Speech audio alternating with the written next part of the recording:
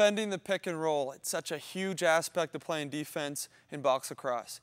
If you can defend the, uh, the pick and roll, you're going to have success in the indoor game. Okay? You really have three options when defending the pick.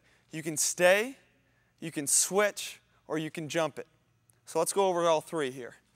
So as Peter comes up to set, set the pick, my first option is to stay on my man, okay? But in order to do that, my fellow defender Ryan has to push Peter through the pick, okay?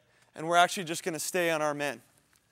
Okay, continue to defend our men. The second option, as Peter comes back to repick, okay, is to actually switch. Okay? It's big that we need to communicate this. Okay, my fellow defender has to tell me where the pick is coming from, that the pick is going to be set, and I'm going to open up to the pick, okay, and we're actually going to switch men. So as Maddie comes around the pick, we're going to switch men, okay, and we communicate that the whole way through, and we're, we're essentially even now. We're, we're switched back up. So again, reset. So now our final option is now to jump it.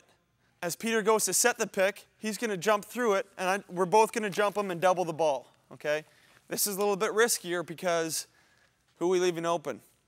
Peter's rolling to the net, okay? So it's important that we have help offside, okay? But also that Ryan and I are getting all over Matt's hands, trying to prevent him to, to make that pass, okay? So again, if you're, if you're down by a few goals, you need the ball back, you might want to implement the jump at defense, okay, and jump those picks and double the ball.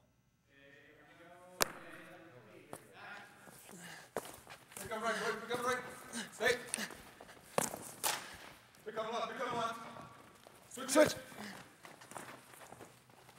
Jump it, jump it, jump it, jump it.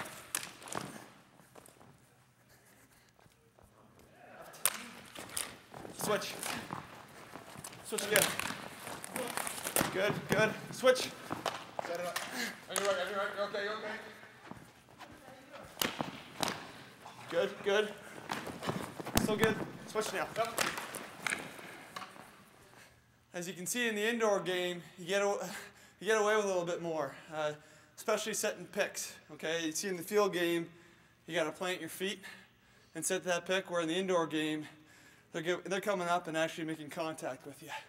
So you got to really turn early, see those picks early, communicate it early, and receive that contact and recover.